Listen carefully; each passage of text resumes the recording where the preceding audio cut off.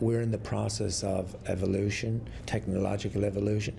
We're also in the process of uh, not just technological, but we are going through economic, social, and spiritual, for want of a better word, revolution or evolution. What are you playing?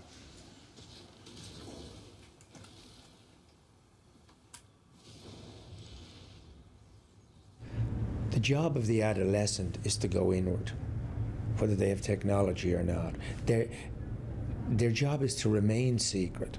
Their job is to put a skull and crossbones on the door of their room and say, keep out. That's not just a physical thing, that's actually, uh, you know, an, an, intellectual and emotional uh, stop. Can you turn that off? Just put it on pause. Conrad, can you can you please turn that off? Get out. The child's job is to free himself from the parent. And the parent's job is to facilitate that freedom. But at the very moment when a parent is called on to facilitate that, it's the moment when they want to bring the child closer because they realize the child is moving away. So the child's job is to uh, to free themselves of the influence of the parent.